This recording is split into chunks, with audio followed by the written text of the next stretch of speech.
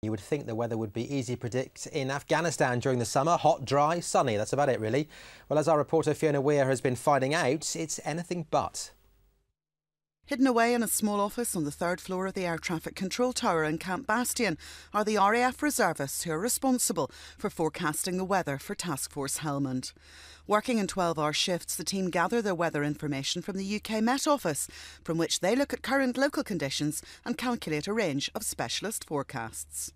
We do a main aviation style uh, briefing package. Uh, which covers uh, surface up to about 30,000 feet, um, which will give a, quite detailed uh, assessment of the conditions that uh, aircraft are likely to encounter over the next 24-hour period.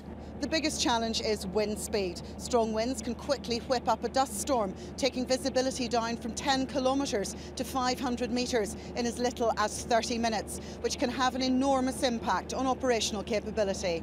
it um, poses a real challenge to us because uh, one, we've got to see it coming, and two, when we do see it coming, we've got to inform everybody, and there are a huge number of uh, interested parties around the theatre who are um, depending on weather information.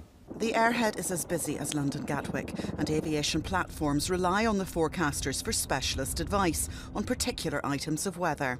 A good indication of how vital it is is when we have our morning briefs, the first thing that is briefed is the weather, because it has an impact on everything that we do.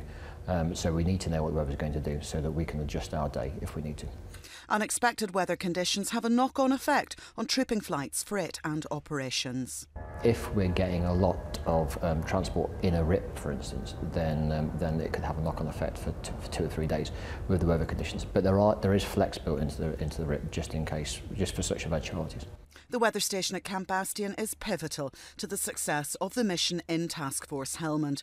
Quite a responsibility for a small team of reserve specialists. Fiona Weir, Forces News, Camp Bastion.